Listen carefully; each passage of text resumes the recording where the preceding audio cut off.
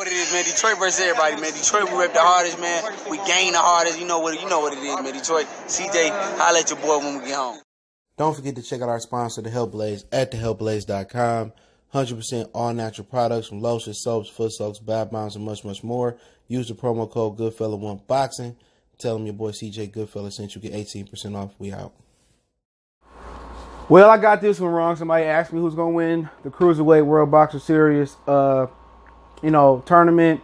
Dr. Toast, can't pronounce his name, the Cuban guy, the fight doctor, and British, you know, they decided to go ahead and uh, move forward and take to make the fight through all the bull jive and the pandemic and the COVID. And Breeze came out on top. So let's talk about it. Hit that subscribe button, bell icon button, share the video.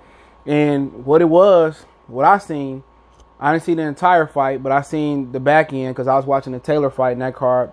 And uh, congratulations, Charlie Edwards. But what I seen was Uranier, Dr. Toast. He was trying to land the one big punch, and he was coming forward, and Breedish was boxing.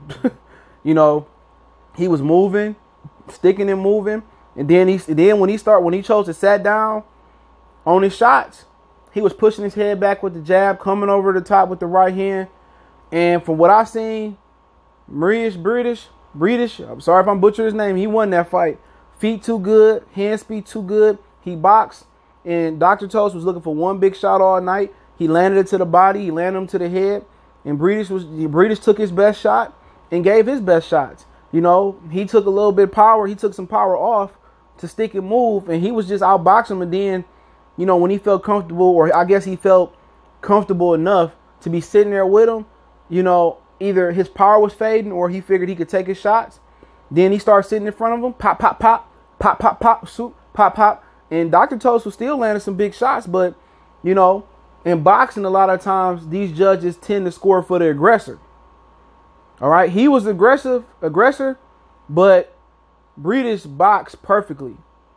You know, you would have thought British was the Cuban in there, the way he was boxing and moving and sticking and moving, and you would have thought that you know the fight doctor was the power. He was he he was the, the classic European fighter.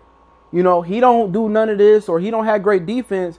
He is a definitely a different type of uh, Cuban fighter. Him and Gamboa are the two Cuban fighters that I thought was a little bit different in this generation. But he thought he won the fight. It was 114, 114, I think 117 with 111. And then the other core, card favorite British as well too. But he definitely, from what I seen, earned the fight. Hand speed too good, box too good, stick to move. And what he did is what people expected um, um, Andrew Tabiti doing. That's still my guy who Dr. Toast knocked out in the tournament. We expected what British did tonight. We expected that from Tabiti. All right. We expected the, the boxing clinic that British put on tonight, sticking and moving. He sat there, beat him up. You know what I'm saying? And he took British. He took Dr. Toast's best shot, and he gave it back to him. He gave him angles. He gave him foot movement. He gave him combination. He gave him a jab. He just he he one of the best boxers in the world for sure. He got the IBF. He got the ring belt. He he one of the better boxers in the world. You got to give him his credit. Now, can he move up to, to heavyweight and do some things? You know, I just think he may be too small, but he got the skills. He got the skills, and I, I think uh, if my memory if my memory serves me correctly, I thought that he had it. I thought that he actually give me a minute. I thought that he actually that he actually beat um I thought that he actually beat uh uh Alexander Alexander Usyk, and they fight. I, I thought that he beat him, and and I and I let me double check and make sure I got the right guy because I'm pretty sure I do. I think he fought him in the other finals in the first cruiserweight tournament. Um, yeah, he lost him in 2018. I think that was in the tournament, and uh, they fought for the WBC and the WBO title and Usyk ended up winning. And I thought, and Usyk won a majority decision, and I thought British beat him. So at the end of the day, I picked Dr. Toast because I thought he'd be able to uh, knock this guy out. But this dude is pretty good. I thought he beat Usyk. You know, he's a really good fighter, man, and um, he only 6'1", 75 inch reach. So you know, he's 35 years old, so I don't think he have any ambitions on going up to, to heavyweight. But if he do, I mean, just think he a little bit too small in the style he fight, but he got the feet, his foot speed, he got the boxing ability. You know, you know he from Lock Latvia, Latvia. Uh, good fighter. You know what I'm saying? He, he he beat old boy tonight. If everything I seen in the front back half of that fight was indicative of the front half of that fight, he beat him. So congratulations to Mairis Briedis. Um, I think he one of the best fighters in the world. Um, if cruiserweight wasn't so over overlooked, probably being most people pound for pound list. Cause I felt that he beat Alexander Usyk.